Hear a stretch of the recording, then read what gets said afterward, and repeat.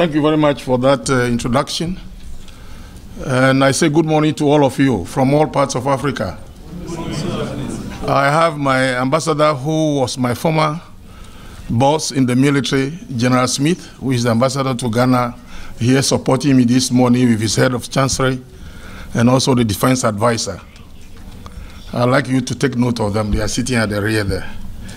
It's a joy for me to be here today to share this moment with you. As I, I grow older, I've been having some joint pains.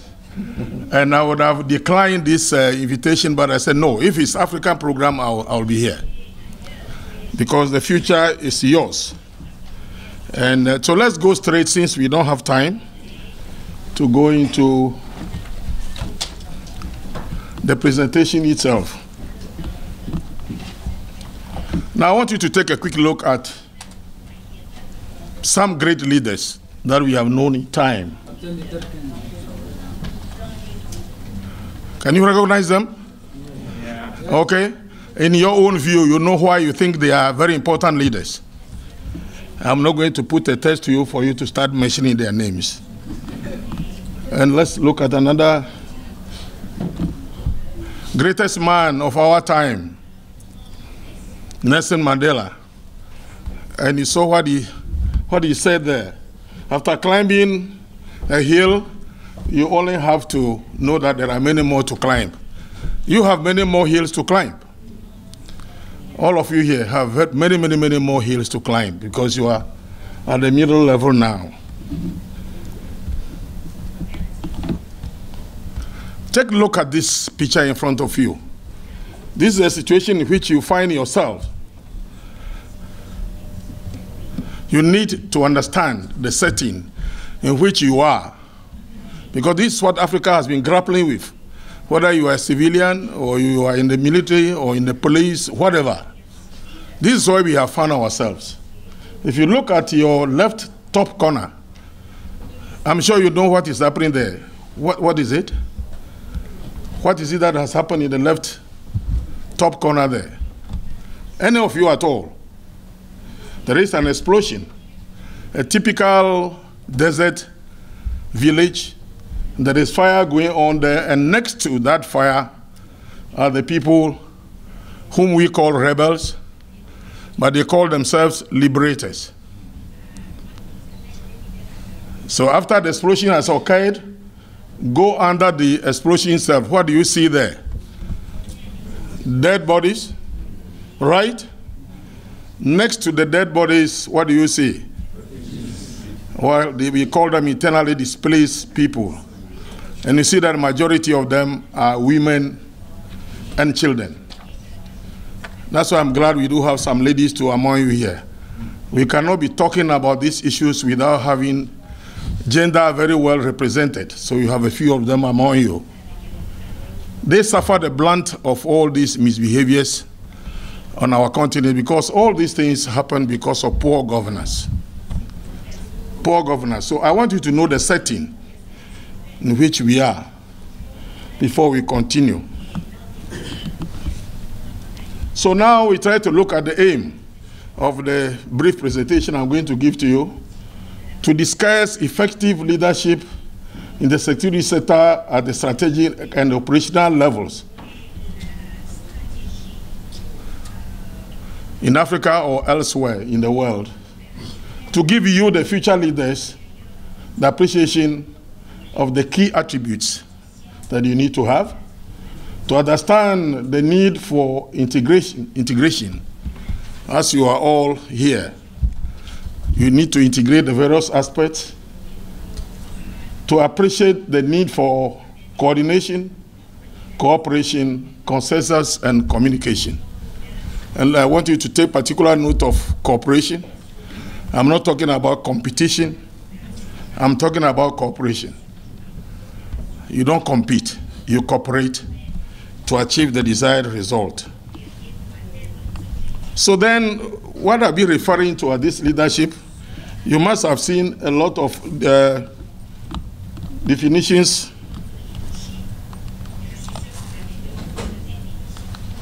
Okay. You ought to be able to influence others to do exactly what you wish for them to do. And there are two different forms. Hope you get this right. Okay. Direct and the indirect.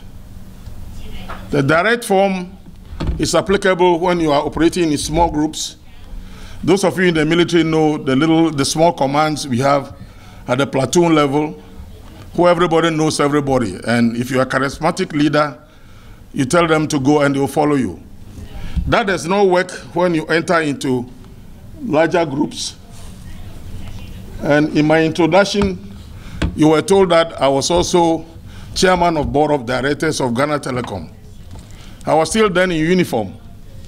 When I I realized that to work with a group of engineers, accountants, administrators, all manner of technicians, then that was no place to give orders at all, because orders just simply will not work.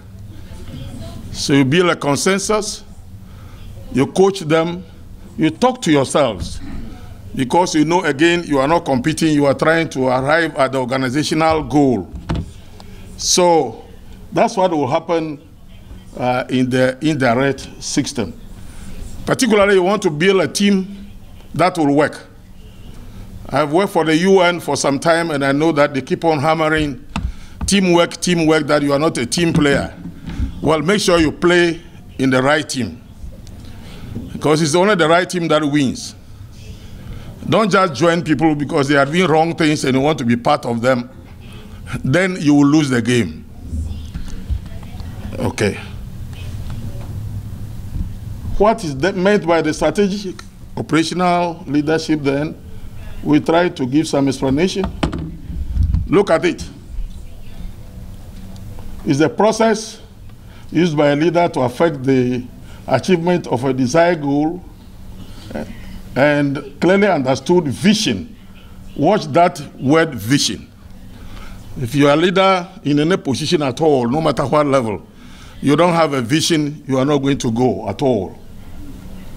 And you should be able to manage the resources and direct them through effective leadership, build consensus in a volatile, uncertain, and complex, and then a global, ambiguous global environment. The picture I showed you from the beginning, it was a complex situation, ambiguous, volatile, and you ought to be able to understand where you are because if nothing had happened, you wouldn't have been there. You know what is going on in southern Sudan. We found ourselves in a similar situation in Rwanda many years back, and I will be coming to that later on. So you ought to be able to operate under those conditions and what we refer to as it will be full of threats and opportunities. How can threats be turned to opportunities? Threats, because something has gone wrong. If you don't turn away, you don't run away, you may turn that to an opportunity to save lives. And by going through that, you are able to understand the sufferings of others, and hopefully that will have effect on your subsequent uh, approach to leadership. Because all these things we are having in Africa are happening because of poor governance. I'm sure all of you are aware of this.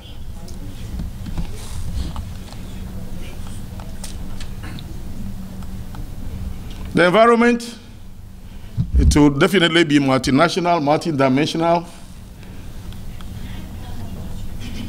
It involves intricate networks of uh, people.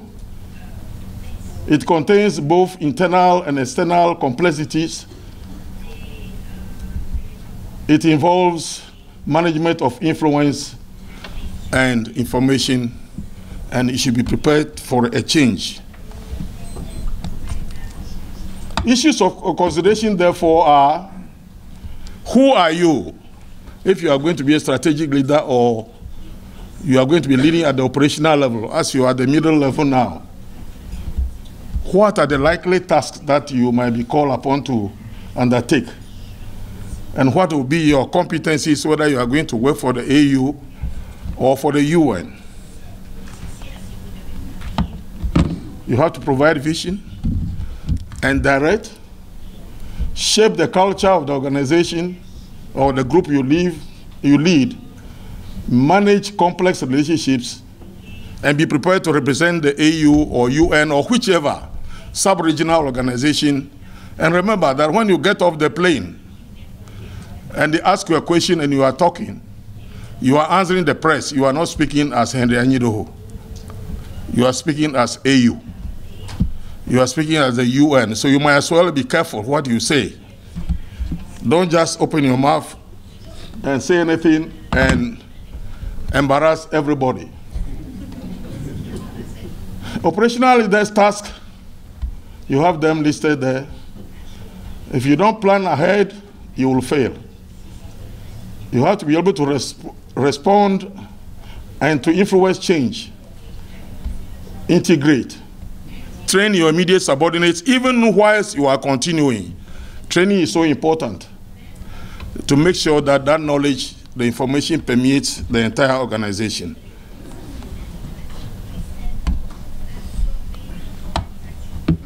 The competencies are here because we need to understand at least the principles, the thinking behind it. And we will be coming to the practical, practical aspects of it. If you cannot communicate effectively, or you are not able to build consensus among your people, and you yourself, you are deficient of knowledge, then of course, what are you going to be talking about? You must know. Then you can communicate. Preparing for a leadership position, part of it is what you are doing here now. You have an opportunity to listen to others who have gone through the process, and I'm not talking about only the military, because as you all know, the military and the civilians are working together, the police, even if it's in a dangerous peacekeeping situation, it's always a civilian that is the head of the mission. Because if we have to return to normal life, it will be politics. It will be a civilian that will lead. And the military should understand this very clearly so that we stop hanging on to power forever. You have the UNITAR program. Do we know, by the way, what UNITAR is? Any one of you? UNITAR, do you understand what the, that abbreviation is? UN Institute for Training and Research is based in Geneva. They are the website. One of the problems, ladies and gentlemen, that we have in Africa is also that we don't read. We have to read. In the present day world, we have a lot of information at the web. So you can also talk to others who have gone through the system before. And there are courses being organized at the regional levels and sub-regional levels. If you have any opportunity, please seize the opportunity. I know it's good to come to Washington, but you can also go to Addis Ababa, Nairobi, or elsewhere. And you'll meet some other people who will talk to you there. Strategic operational leader must be prepared to operate in a complex environment, provide vision, manage change, integrate the many components, communicate widely, and develop consensus. To operate in a complex environment, I'd like to explain. If you were in Darfur, where I also served, and you were thrown into the desert, and nothing operates, no water is flowing. You don't have anywhere properly to put your head. Maybe you are going to lie on a table for the first few nights. Well, you don't want to throw a diplomat into that situation and embarrass him and call him head of mission. Because from foreign office, he's just not going to survive that. Somebody has to build a place and prepare the ground, then maybe he can join later on. So those who do the appointments, they have a responsibility. But if you are there, please try and make the best out of the situation. Don't compete. Cooperate, for goodness sake.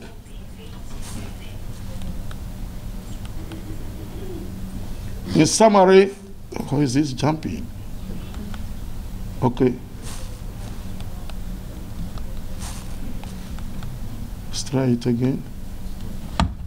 Strategic operational leaders must operate in a complex environment, provide a vision. Okay. What's happening? So, what? It's skipping. I mean,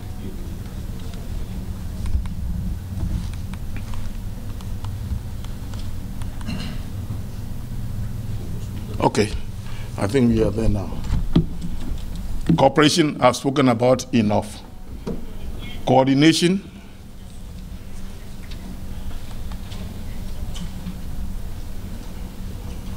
These are some of the difficulties you have with coordination. The mandate, the job given to you itself will be very complex. There will be many people, variety of interest. When we were in Darfur, all the permanent members of the Security Council had special envoys, even though they had embassies all over in Khartoum. They all had variety of interests. Others were focusing on oil, not necessarily the peace. Others were fighting for power. Sometimes you were doing mediation, and part of the people will be taken to another country without any information to you at all. So note that these difficulties are there.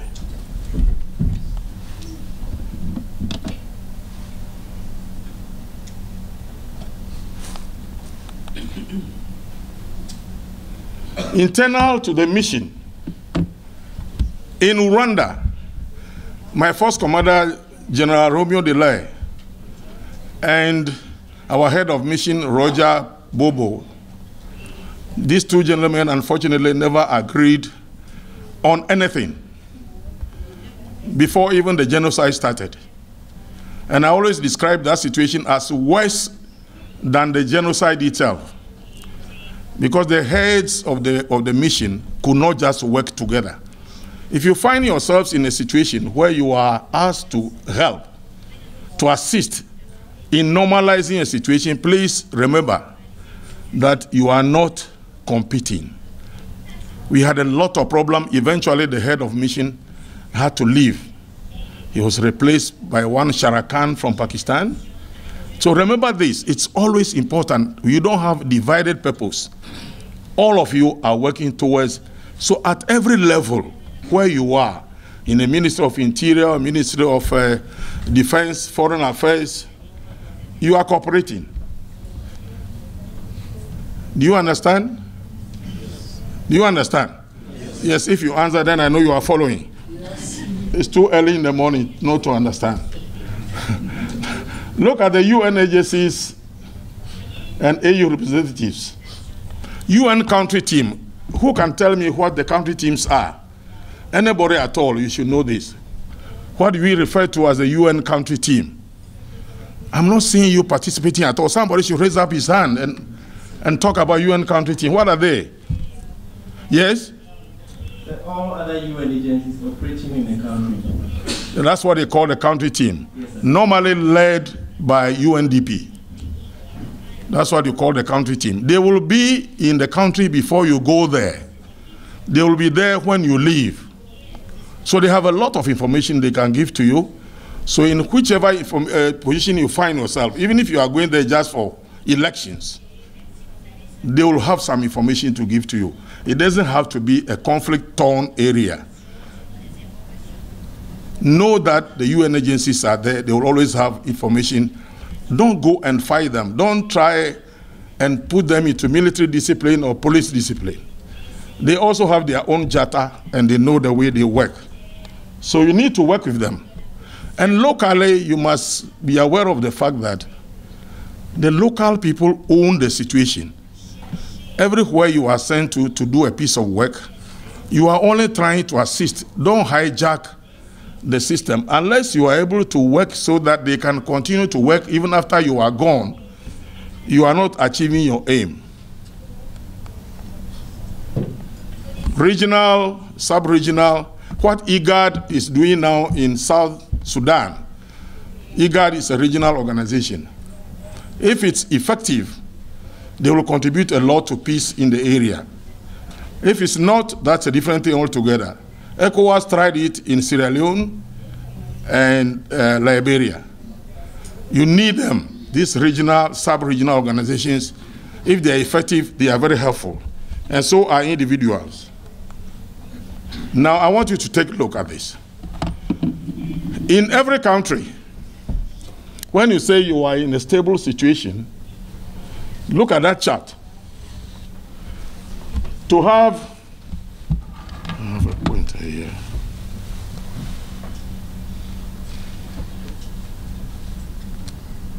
These things ought to be working. No, it's not. You don't have a pointer. You don't have a pointer. I think it's probably this one. Okay, It's top one. okay. Let's see. Okay. You have all that. And look, please look at the arrows. First of all, take a look at the post-conflict task, the stabilization, transition into long-term development. And all these are what you are trying to do to solve the problem. If you are able to get this and many more. But watch the arrows. All the arrows go into each other. And they all involve that big one there, which finally builds local institutions. And that is the only time you can say that you have a sustainable peace. I go over it again. The reason why you integrate, because you cannot build all these institutions all by yourselves. You see the IFI's international financial institutions there, they will be there from the beginning and they will continue way after, even in stable administrations. When the troops are on the ground, others are still working. Eventually, all efforts are being channeled to that. So, the mechanisms are here. And I want to talk specifically about maintenance of personal integrity. Very, very important. In Darfur, I remember somebody came up with a very bright idea that there was so much stress, so we should organize ladies' night in the middle of the desert. So ladies' night was organized. If you were a leader and you knew that after two glasses of wine, your eyes might begin to see something else, then it was better for you not to have gone at all. Because you might do something funny there and that will ruin the whole mission. Integrity once lost, never regained.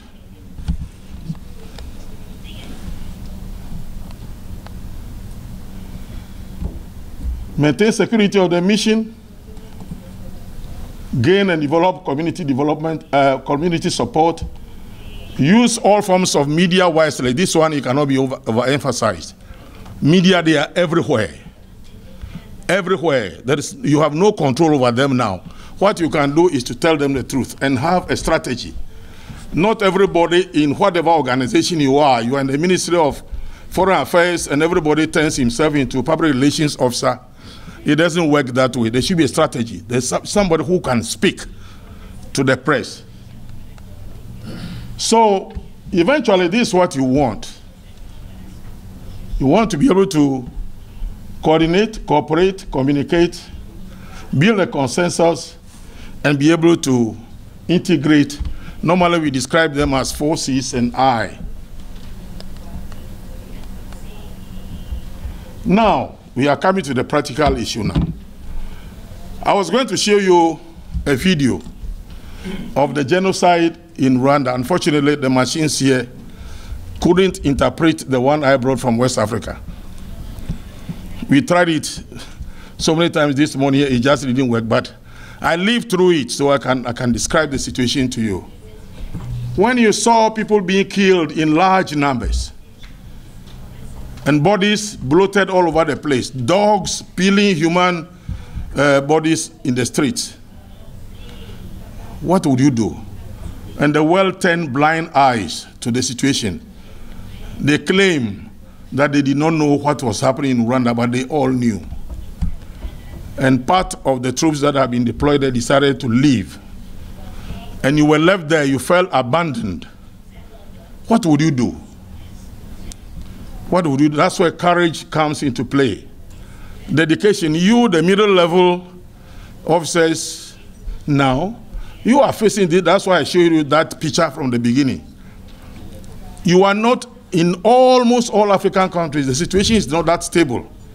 Even those of us who say that we are practicing uh, good governance, we still have a way to go. You need to be aware of this situation. So if you make a sacrifice, you expect that country to continue to go the right way. Unfortunately, you couldn't see the video, but it's very revealing how different categories of people from presidents down the line denied that they didn't know what was happening after it had all gone bad. The next video was an interview I granted in The Hague during the 20th anniversary of the genocide. And my perspective, what I said in that interview was that, so far as I'm concerned, there should be care, great deal of care, in deciding who does what, who leads a mission, who heads a ministry, who heads a water organization. Who, who is the, that type of person? Is he capable of doing the job? Or are you just going to send anybody else there? After all, when it, everything breaks and nothing is working, you begin to, you know, bad leaders can really create problem. I'm not talking about only in the military now. If you put an ineffective person in charge of a ministry, you can never expect that ministry to run well. That one person is creating so much problem. Change him with another person and the ministry is on the run. It's going very well. So be careful. Those who appoint people, to, so if you have any influence, wherever you are coming from, you should know that these things are so important. We are not playing people's lives. We want to sustain life. Please, do you understand? Yes. Having told you that, I think I better wait for you to ask questions. Then I'll be able to explain to you and share some of my experiences with you. I thank you for listening.